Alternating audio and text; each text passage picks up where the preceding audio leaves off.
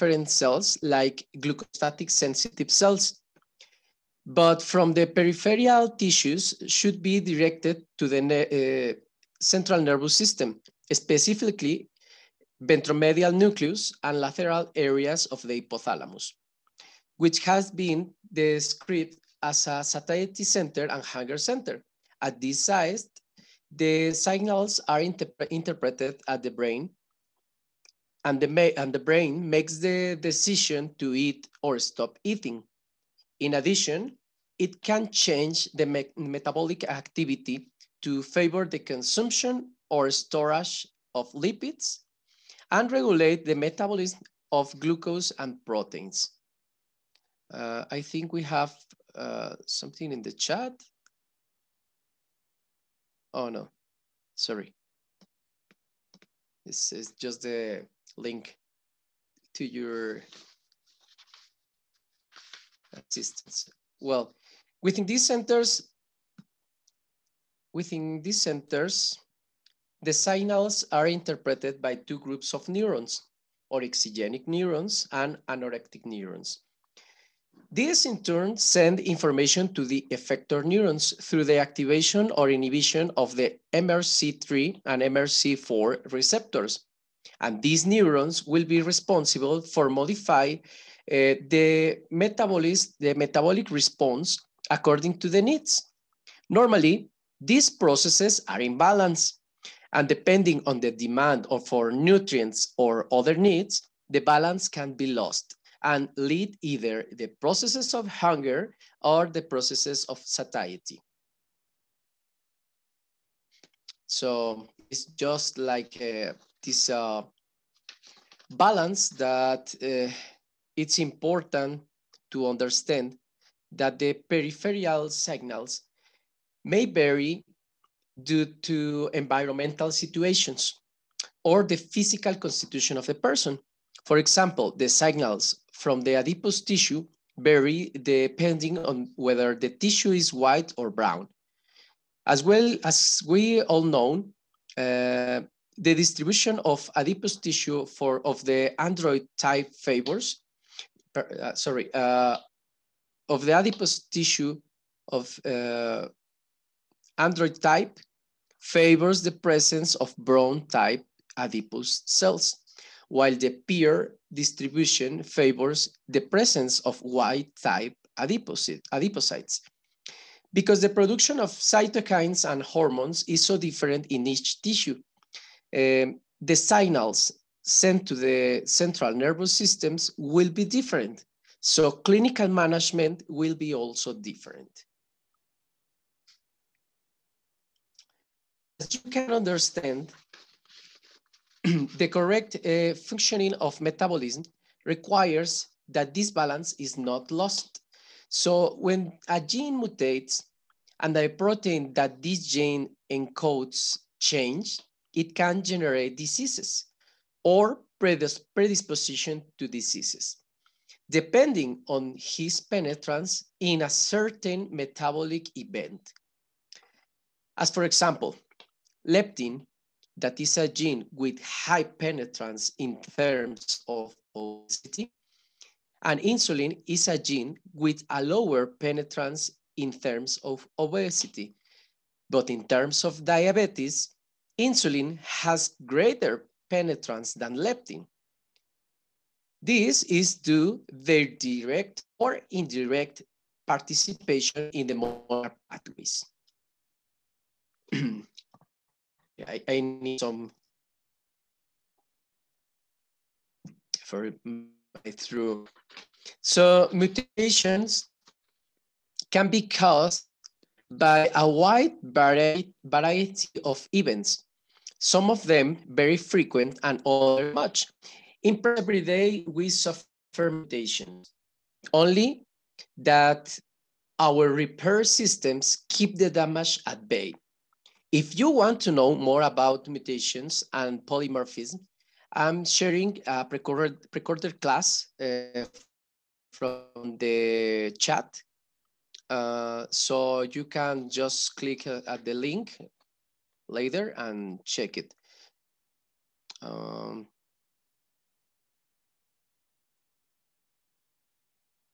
well, I don't have the of that right now, but I will share with you in a few moments. Well, even with this,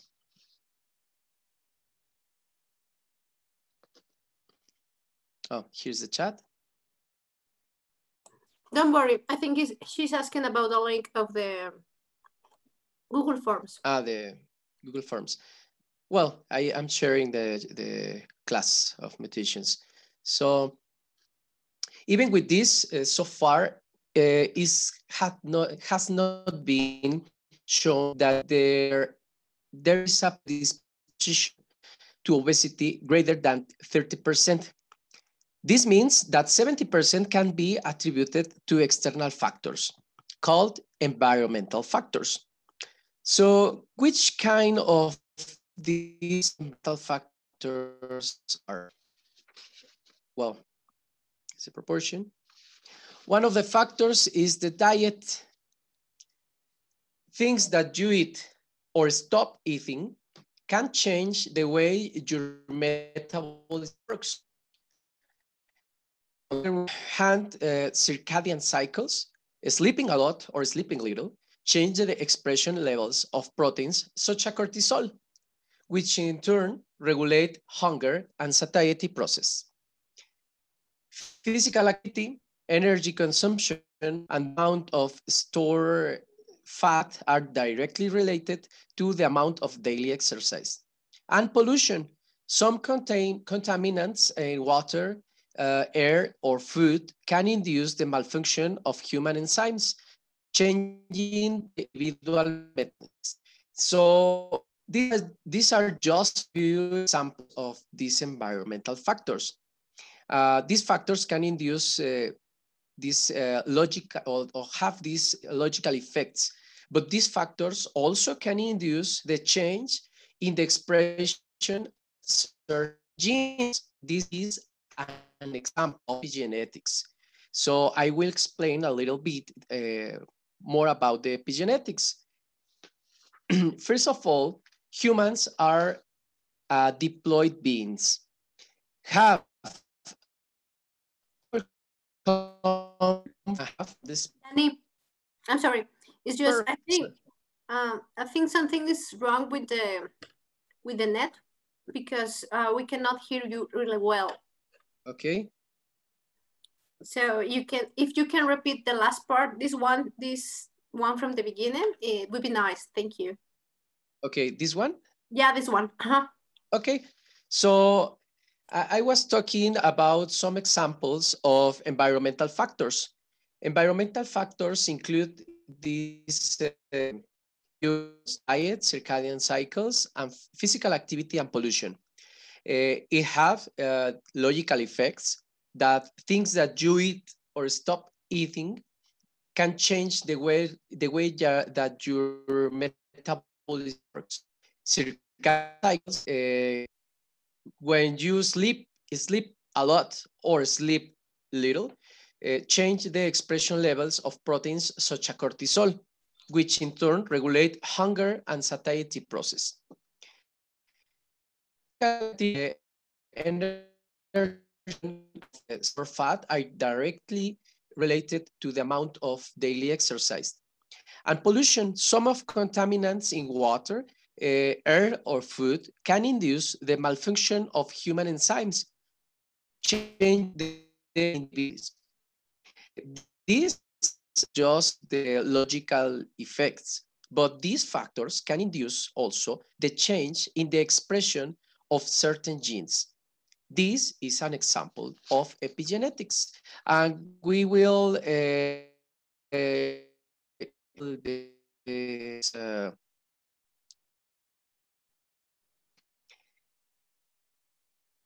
Well, it's well known that humans are diploid beings.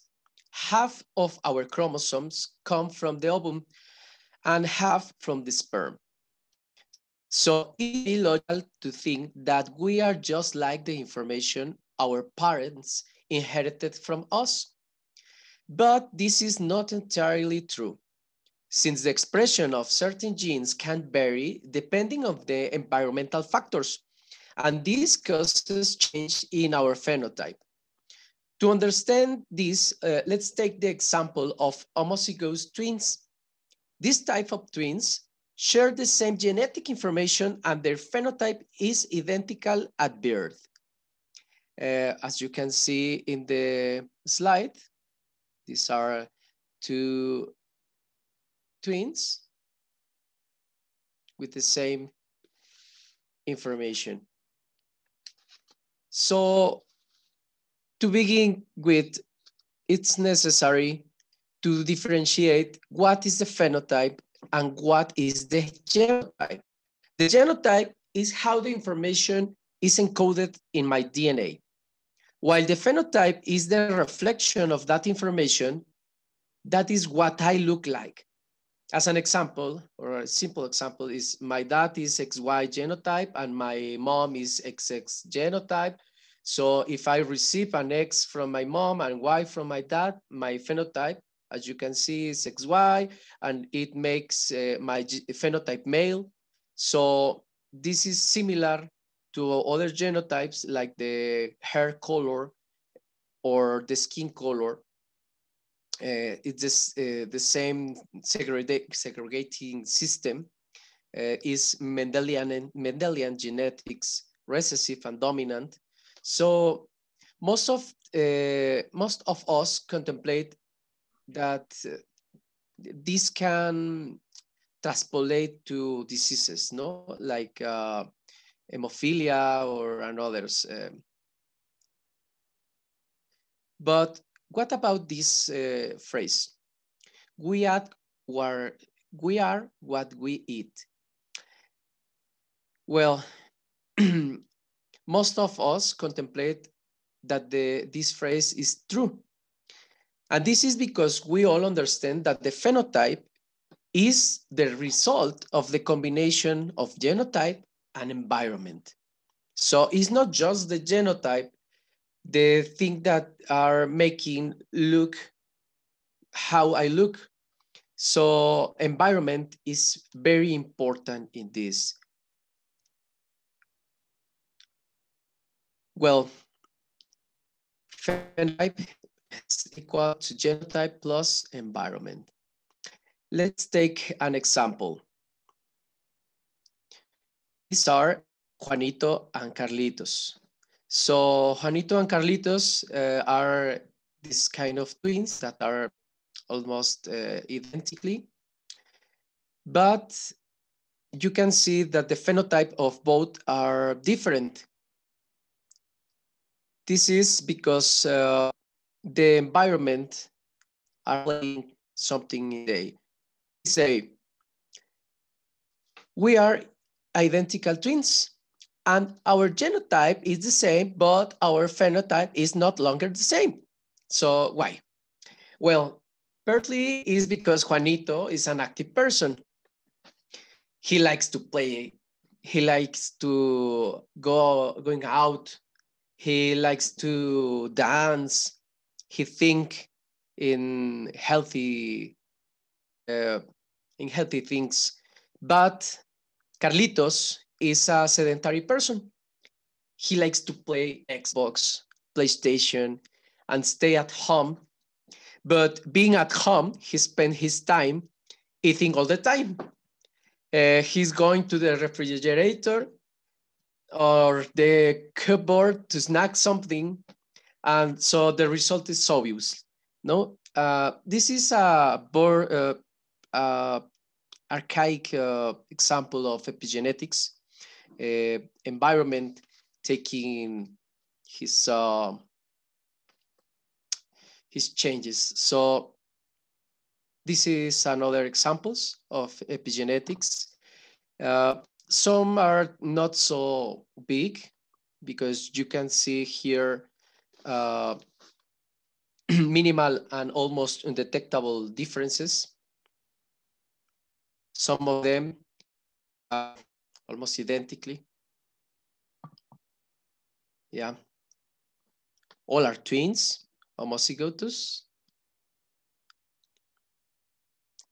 When they are like this uh, more uh, when they are younger it's very difficult to to know who are one and who are the other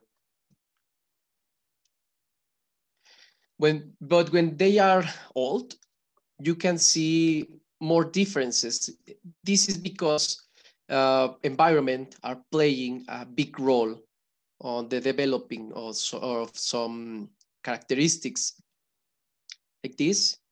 This is uh, an example of uh, work. Uh, they are the they both are twins, but one of them smoke uh, almost all his life. So you can see which of one, which of these uh, smoke, and the other no. Uh, this is the same. One of them smokes and the other no. So well, this is just uh, some examples. No? But we have more interesting examples than these ones. As an example,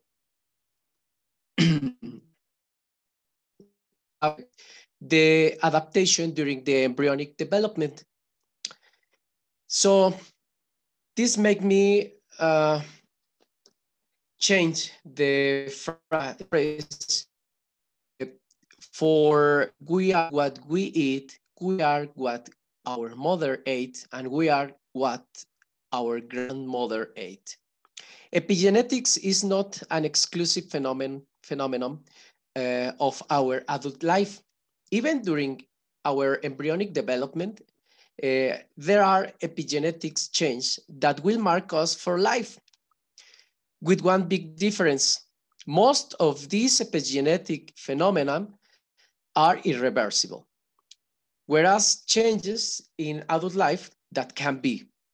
This makes me change the phrase. One big, one big example is during the Second World War, uh, Netherlands, Holland, remained under siege, causing no commercial exchange, and with, a, with it a serve famine. This famine affect adults and children, however, at the same time affect pregnant women. Due to the low calorie intake, many of them lost their pregnancies. While those children uh, who, uh, well, while those children who were born began to develop health problems during their adolescence and adulthood. So this is because uh, these uh, embryonic adaptations change all the parameters of his uh, metabolic pathways. The Dr. Tessa Jade Roseboom have a lot of uh, works about it. Uh, so if you want to read something about it, uh, please search uh, for his name in PubMed or uh, some databases. And well, curiously, these problems were related to an excess of energy deposits like fat, including uh, cardiac problems, cardiac diseases, hypercholesterolemia, stress, bipolarity, little social flexibility, and general worse uh, health. This is known as thrifty phenotype. Three, three, sorry, thrifty phenotype uh, is a disease uh, that occurs because mothers consume a very low amount of calories. It's not exclusive for the war. Uh, there is a lot of people right now that can uh, take the a good amount of calories or good uh, food for optimum development of embryos. So but well, this means the embryo adapt to more uh, energy efficient since in theory, if the mother does not consume food, it is due to the fact that there are shortage of them. Yeah, there is not a good environmental to to take care of the kid. So um, the, this gives the future baby a better chance of surviving when they uh, have the thrifty phenotype. However, uh, when it is born and the availability, uh, availability, availability sorry, uh, and the food is good or in good amounts, it should consume fewer calories uh, than a normal people, or else the slurps will be stored as a fat. Change is directly associated uh, with this epigenetic change, and is uh, I, I need to make in hincapié that this phenomenon is not reversible because the epigenetic change is directly associated with your DNA.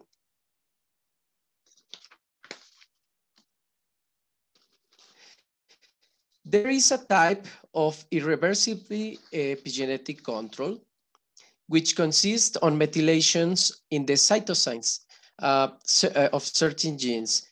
Once methylated, they cannot be demethylated normally. This methylation generate uh, gene silencing, uh, causing the protein they encode to not be produced or decrease its production significantly.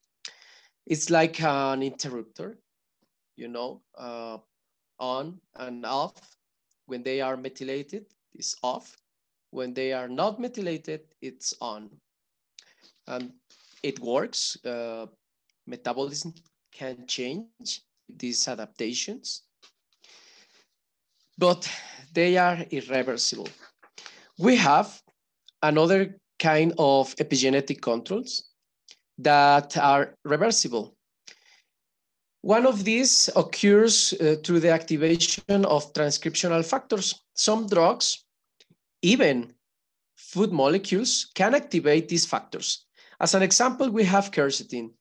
When we consume quercetin, it can, it can cross the cell membrane and break the union of NRF2 and KEAP1 KEAP1 works as an inhibitor of NRF2. So when the union is broken, NRF2 release and translocate to the nucleus where the function, where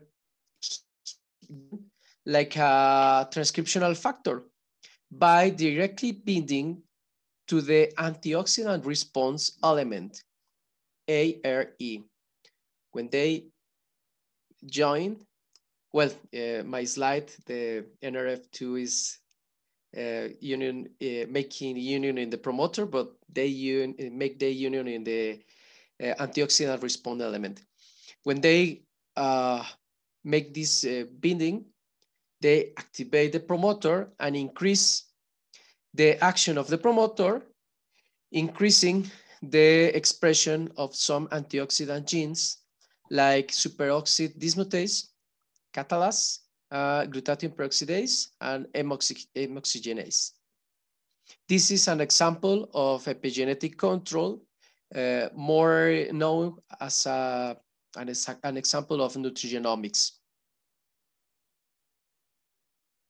Another reversible example of epigenetics control is that one that is mediated eh, by histones.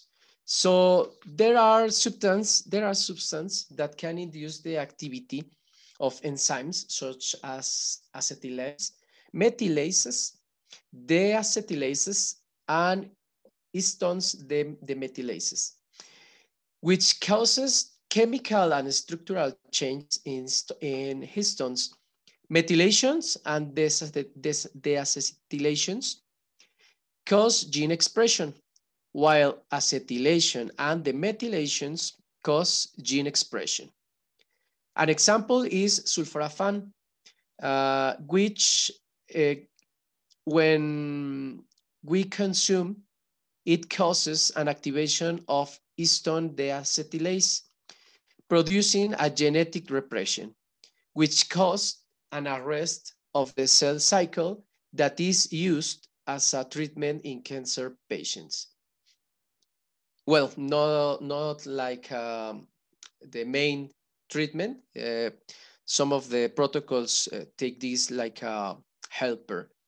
And I think uh, the word in the slide is uh, miss.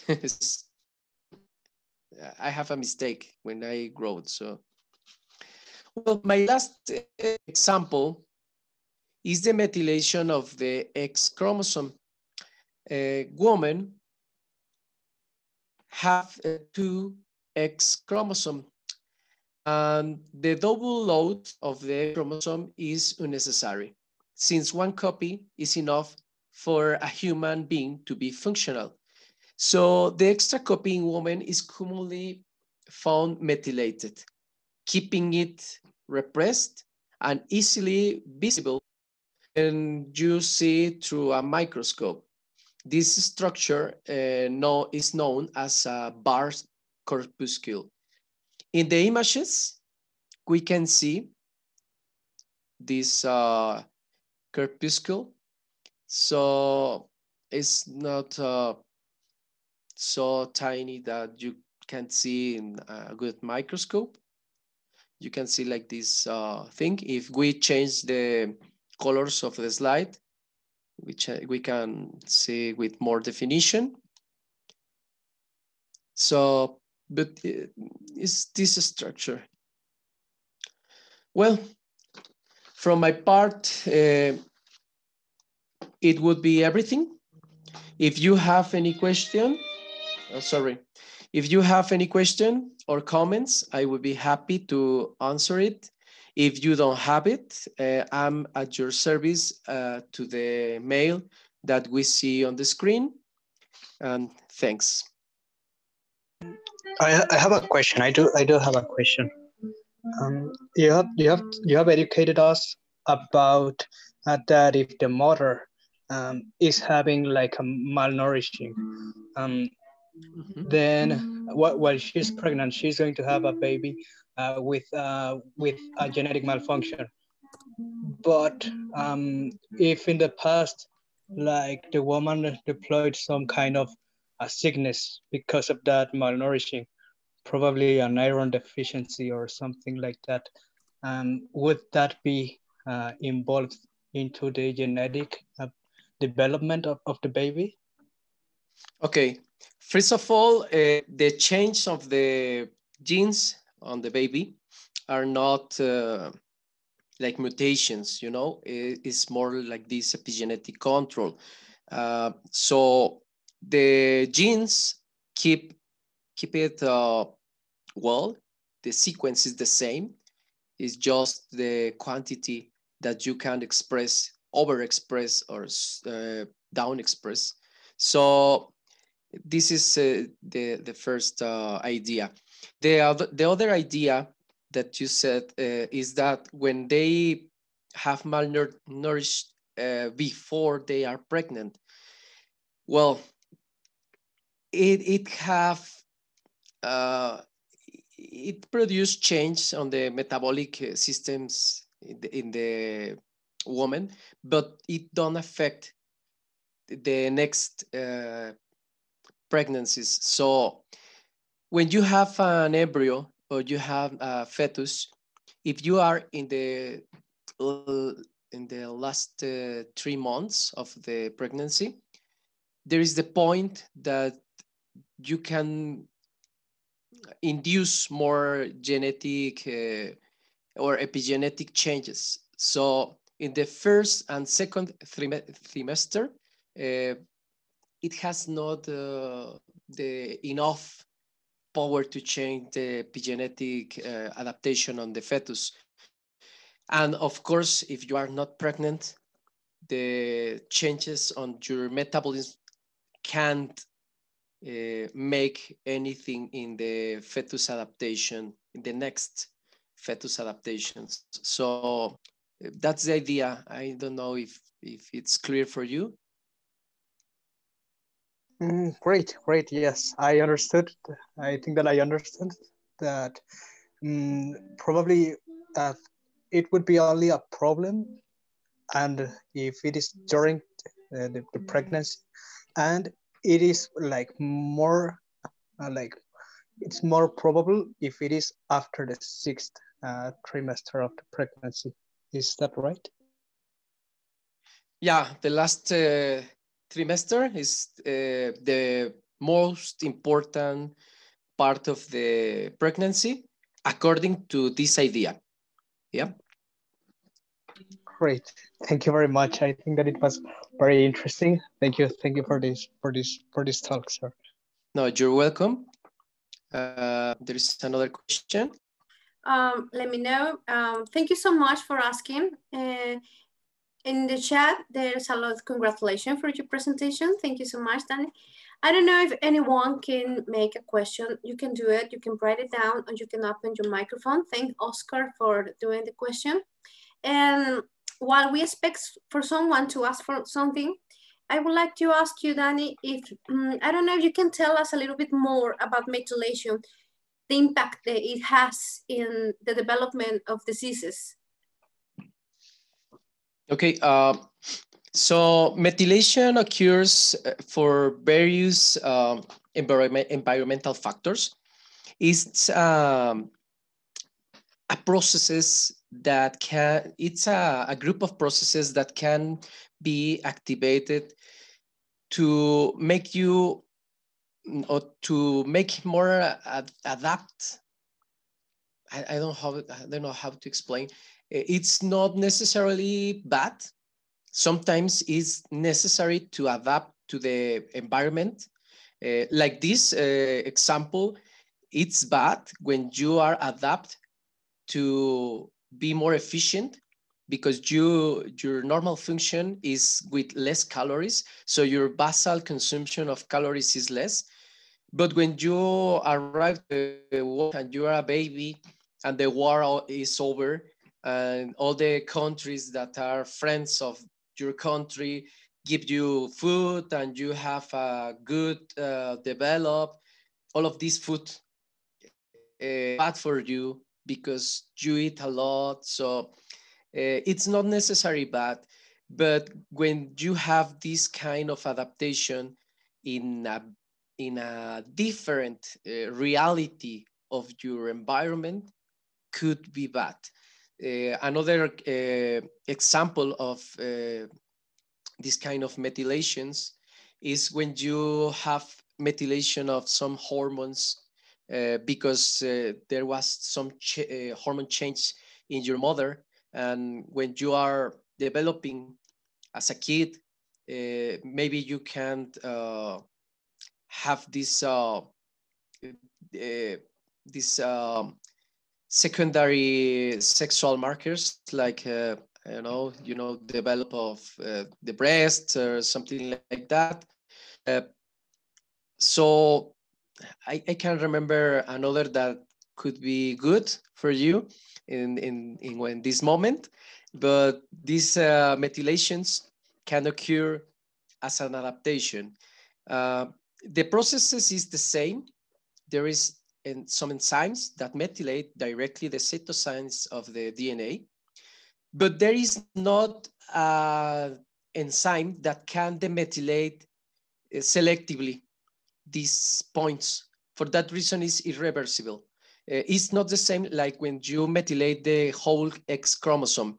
This is a different methylation process that makes just the DNA like uh, more compact. This methylation is more in, in the proteins, like the histones, like some scaffold proteins. But when you have methylation directly in the DNA, you have the methylation directly in the cytosine. So it can be reversible. Okay, one, I think I have one last question, if you mind. Uh, you said that some changes in your DNA can be reversible, right? Right. Mm-hmm. Yeah, yeah. And if you, I don't know, if some person starts with a good diet and changes the habits and everything is going well in his life, how many times, how many, how long does it take that you can do, okay, you can watch the changes in your DNA? Do you know how, much, how long?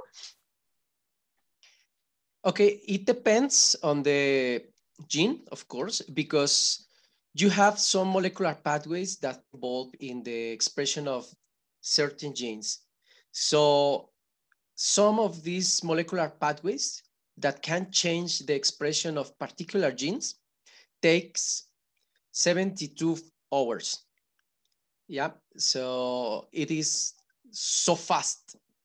But there is another molecular pathways that depends on like physical activity and then change on one molecular pathway that change the metabolic things inside of the uh, uh, mm, brown adipose, adipocyte, and then it uh, changed some metabolic uh, things in the muscles. So at the final, the epigenetic change on the muscle, you, you take uh, around six or 12 months to generate. So it's very different uh, thinking on the and on the molecular pathway.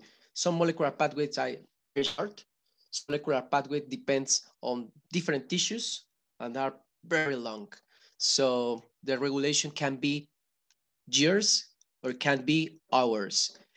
Like uh, overexpression of uh, GLUT4, the, this glucose transporter, it takes 72 hours when you make a physical activity, you can increase the expression of GLUT4 uh, this is a fast example. Mm -hmm.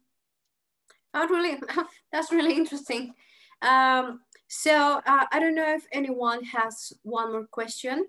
And um, if it's not, if anyone doesn't have one question, well, I would like to thank Dr. Daniel. Do you have a question? Sorry. Someone opens the microphone and I didn't know. No, I think no. Uh, so, Doctor, thank you so much, doctor, for being here. It was really an interesting topic and presentation because I think it's a different way to see the obesity. It's not only that you have putting on weight and you are getting fat and all that description that everybody does. If obesity has a lot of topics like immunology and this one is genetics, no? So, ah, sorry, it is one question, Danny, so sorry. Uh, Sebastian, please, you can, do you want to open your microphone or do you yes. want to? Yeah, okay. Yes, there was this therapy that my classmate that my classmate made for the for the homework, the last project, and it was a leptin-based therapy, and and I wanted to know if there's a way that this therapy could work, uh, treating the hunger. Okay, so Leptin has a very strange uh, molecular pathway. Uh, it, it is like design, design because uh, there is no design, but it's designed to work uh, as a reporter when, when you have, uh, when you don't have enough uh, fat reserves. your storage of fat is less, so leptin goes down. So the brain detects that and makes more uh, storage of lipids. But, but when you want to make that left, uh, you want to make that leptin induced the weight loss, uh, it's almost impossible because you need say, that the leptin that is produced in the peripheral tissues goes through some transporters through the um, peripheral barriers of the nervous systems, nervous system, um, the meninges. So when when you have a lot, you can saturate these transporters and the result is the same. So if you applied a uh, through IV, intravenous administration, uh, you never have you will never have a, a, good result. You need to make that the leptin goes through this barrier, enter into the uh, into the uh, nervous system, maybe through a intrathecal administration or maybe like an infusion pump into the brain. But well, risk benefit, no? Uh, no one want to drill to hold in, in his head just to get, get uh, weight lost. So I have a, a, a class recorder uh, about obesity. Is very extent is two hours but if you want to know more about these uh, molecular pathways right now i can share the link to the class. Yeah thank uh, you. it's in spanish of course. Uh, everything is in my youtube channel but you can check it. And also you know yeah now that you are watching the chat, you can watch, uh, you can read, I don't know, the other question from Emmanuel. He wrote down the question, the what happened if the person doesn't get, you know, he doesn't put any weight. The person that, who eats a lot, but they cannot put on some weight. Why is so difficult for them? Is something about the genetics or what can be the explanation? well, uh, first of all, we can't uh, make like a di diagnosed uh, without see the person, without see the metabolisms, but we can take some ideas. One of them is the genetic chart, uh, the genetic makeup, personal genetic makeup. Uh, some people have this polymorphism that makes they process better the fat or better the proteins or something like this. But we also have the epigenetic adaptations. Some people have the contrary of this uh, thrifty phenotype. It's like this phenotype that they are like uh, burning, burning a lot because maybe his mother takes uh, or, or have an intake more than they needs during the, his pregnancy. It is not so uh, studied like uh, 35. It's different because the processes are not clear and the molecular pathways are not clear. But these are my two ideas. This adaptation and the metabolism because the epigenetics or maybe a polymorphism that makes uh, they uh, process more the biomolecules and they have less uh, anabolic uh, response uh, because uh, almost all of these people that can gain weight can make this growing of the muscles. So it's it's it can be a genetic problem Okay, thank you so much. Uh, I don't know, any more questions? Uh, yeah, I have a question from epigenetic. Okay, Yolanda, thank you so uh, much. Doctor, can a promoter be demethylator? Well, uh, it depends of the process that make uh, methylated at the first time. If it if the promoter have these methylations outside of the cytokine, cytosines, it can be demethylated. Uh, of course, it is a regular process inside of our body.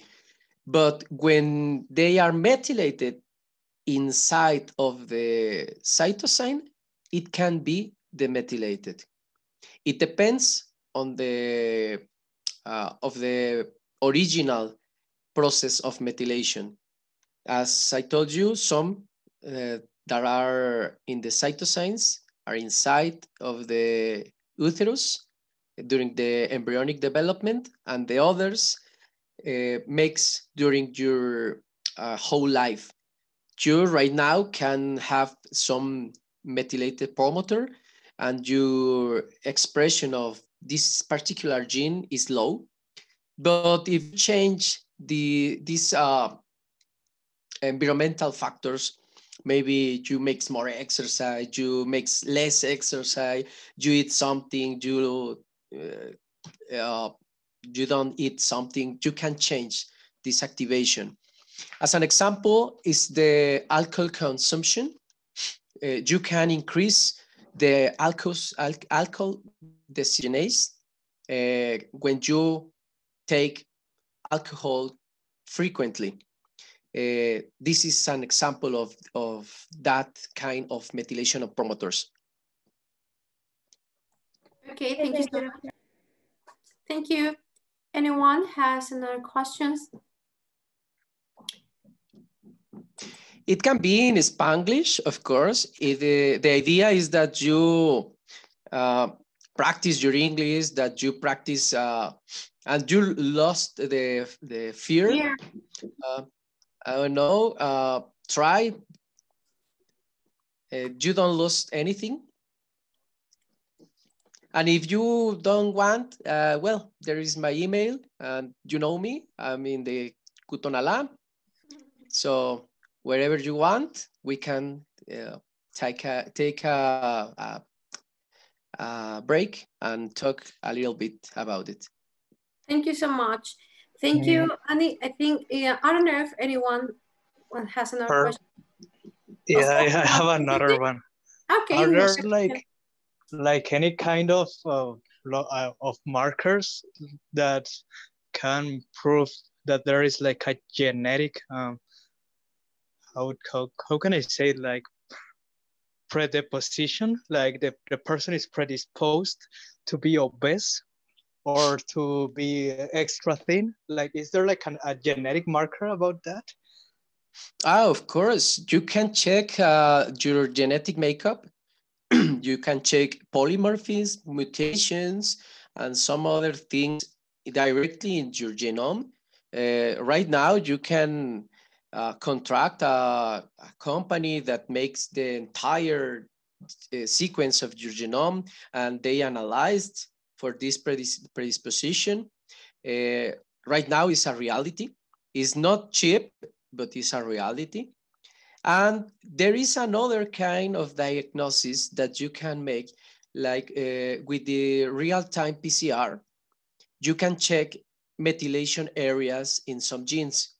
And of course, you can check the predisposition to, to some diseases with this kind of, uh, of techniques. Great, and just another one, just the last one. Is there like a genetic predisposition to um, acquire neurodegenerative diseases? Oh, well, um, it depends of the, the, the disease because the, degenerative diseases are a lot.